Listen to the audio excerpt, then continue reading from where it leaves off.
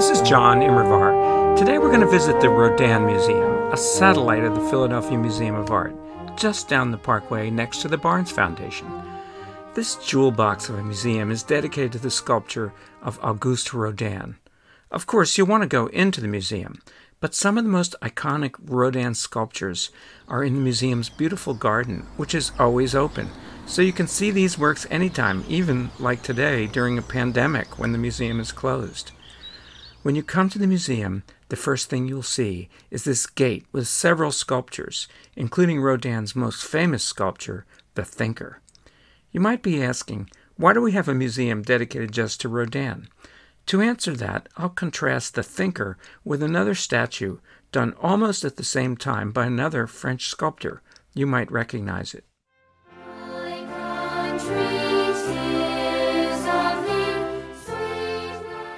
Lady Liberty. She's Libertas, a Roman goddess of liberty, and the spikes around her head are like a halo, indicating her divinity. Her face is classic, noble, unmoving. Her torch illuminates the path to liberty, and she carries a tablet with the date of the Declaration of Independence. In case you missed the theme of liberty, she has broken bondage chains at her feet. It's a great statue, but it isn't subtle. It's noble, classic, and makes a single powerful statement. Now, let's look at the thinker.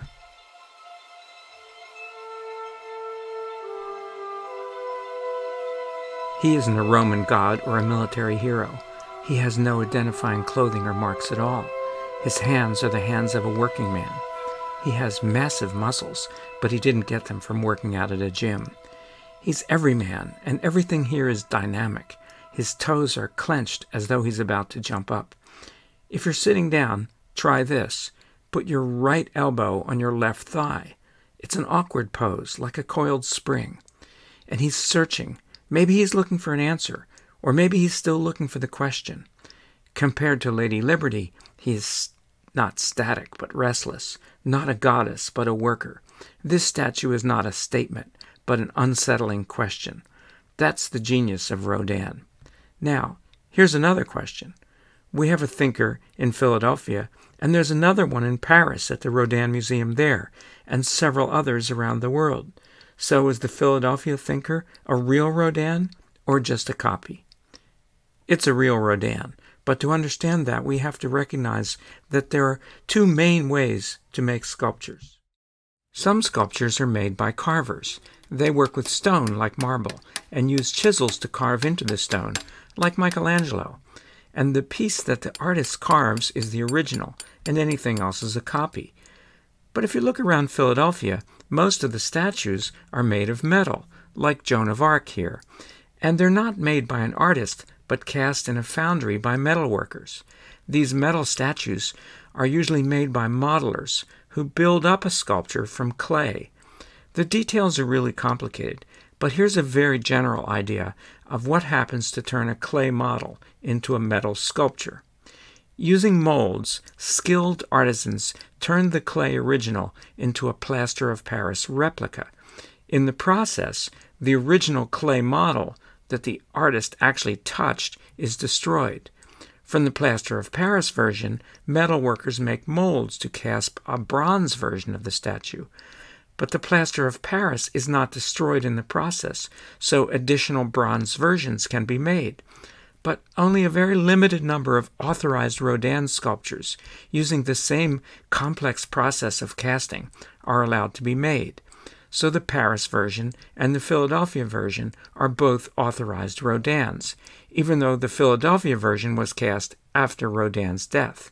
They're like two prints made from the same negative. Now, we'll see how Rodin used the ability to make multiple versions in a very creative way.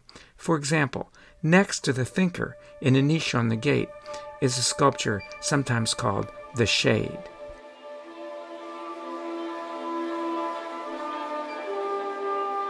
He's a heavily muscled man like the thinker, and notice that his body is posed like a classical, ancient, or Renaissance statue in what's called contrapposto, with one knee bent and the other straight. But breaking dramatically with classical tradition, Rodin has slanted the head to the side in a physically impossible posture, as though he's carrying a heavy burden that is literally crushing him. Another name for this figure is the slave, which relates well to the idea of a massive burden. Rodin often makes his figures anatomically exaggerated to heighten their effect. Now, keeping that figure in mind, walk toward the museum itself and go around to the left side, and you'll see this remarkable grouping. As you look at it in more detail, you'll see how Rodin created it.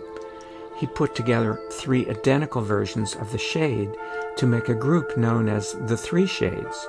Assembling multiple works to make a new grouping is a technique that Rodin uses frequently to great effect, as you see here. With the three shades together, the sculpture takes on a new meaning. In addition to suggesting a crushing burden, it evokes the idea of solidarity, and the three arms form a dramatic downward arrow, as though pointing to something below. Now, let's see how the sculpture of three shades evolved. Walk back to the entrance of the museum and walk up the steps to see Rodin's famous Gates of Hell. Rodin worked on it for almost 40 years. He called it his Noah's Ark, since many of his most important pieces started out as smaller versions on the gates. For example, at the top you'll see a smaller version of the three shades. Now their downward pointing arms focus our attention on what's going on below. Immediately below the three shades is a smaller version of the thinker, now understood as the poet Dante, who created through his thought the vision of hell that we'll see below. Look around. There are over 200 figures. These panels are a whole museum in themselves, and many of Rodin's larger statues are based on the smaller figures you see before you. For our last work, go down the stairs and cross to the other side of the museum to see the Burghers of Calais, a work commissioned by the French town of Calais to celebrate a famous moment in the town's history. There's a story here. In 1347, the town was besieged by English forces. The citizens were starving and wanted to surrender. The English king, Edward III, said he would accept their surrender if six of their leading citizens, called burghers, would come to him prepared to die, in rags, with ropes around their necks, and with the key to the city. So the six citizens came forward, but to their surprise, the English queen had mercy on them, and they were spared. The people of Calais probably expected something that focused on a single noble figure, perhaps in a pyramid shape, like this Chinese statue celebrating the heroism of Chinese workers. The officials of Calais were shocked, however, when Rodin gave them not a heroic statue, but a group of six men all of the same height, all facing in different directions. Here's the Philadelphia version. Rodin began, of course, by making separate statues of each man, and there are authorized versions of the individual men at museums around the world. So let's start by looking at the separate statues. This figure is probably what the good people of Calais expected. He's brave, showing no fear as he walks calmly to his death. Now, let's look at some of the others. Typically of Rodin, they're each powerfully expressive. Here's a very old man, emaciated from the siege, suggesting perhaps that he goes to his death thinking that he has not long to live. But here's a younger man. We can almost hear him saying, Yes, it's good that you older men are sacrificing yourself, but why me? I have my whole life before me. Another figure has his hand across his face, as though to shield himself from the blows that he expects. Meanwhile, another figure is clearly terrified. He doesn't want to die. Now, come back to the group. The individuals are remarkable, but taken together, they are not a statement of heroism, but a conversation of different perspectives on death.